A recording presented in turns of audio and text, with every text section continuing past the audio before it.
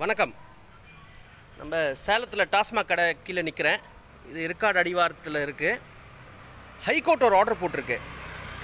எந்த மக்களுக்கு வந்து இப்போது டாஸ்மாக் மக் இந்த சாராயம் இந்த டைமில் அரசாங்கம் விற்கக்கூடாது இதை வச்சு பணம் சம்பாதிக்கக்கூடாது தோணுதோ ஹைகோர்ட் ஆர்டரை நல்லா படிச்சிடுங்க.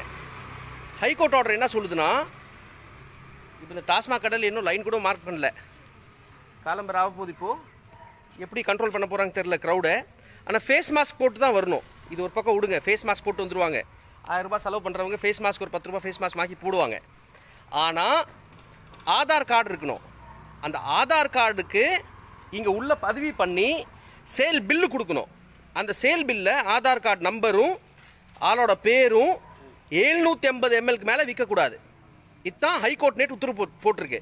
அந்த உத்தரவில் ரொம்ப தெளிவாக சொல்லியிருக்கு. என்ன சொல்லியிருக்குன்னா இதை மீறின கடையை சீல் பண்ணப்படும். ஒரே நாளில் சீல் பண்ணப்படும்னு சொல்லியிருக்கு. ஸோ அதனால் உங்கள் ஏரியாவில் இருக்கிற டாஸ்மாக் கடைக்கு போங்க. வெளியே நில்லுங்க. போலீஸ் மிரட்டலான்னு மிரட்டும். அது கண்டிப்பாக மிரட்டுவாங்க உங்களை. ஆனால் ஹிடனாக பாக்கெட்டில் வந்து கேமரா வச்சுக்கோங்க. வீடியோ எடுங்க. ஆதார் கார்டு இல்லாமல் எழுநூற்றம்பதுக்கு மேலே கொடுத்தா எம்எல்க்கு மேலே கொடுத்தா சேல் பில் இல்லாமல் கொடுத்தாங்கன்னா கண்டிப்பாக அந்த பதவியை அனுப்புங்க நம்மக்கிட்ட அமிச்சிங்கன்னா உறுதியாக ஹைகோர்ட்டுக்கு அது இன்றைக்கே நம்ம அனுப்பிச்சு சென்னையில் லாயர்ஸ் கிட்ட பேசியாச்சு. இன்றைக்கி அவங்க அனுப்பிச்சு ஹைகோர்ட்டில் ப்ரெசென்ட் பண்ணுவோம். அதுக்கு மேலே ஒன்றும் கோர்ட்டெல்லாம் பரிசுத்தமெல்லாம் சொல்ல முடியாது. அப்புறம் கோர்ட்டும் தலையாட்டும் அரசாங்கத்துக்கு. ஆனால் நம்மளால் முடிஞ்சதை நம்ம செய்வோம்.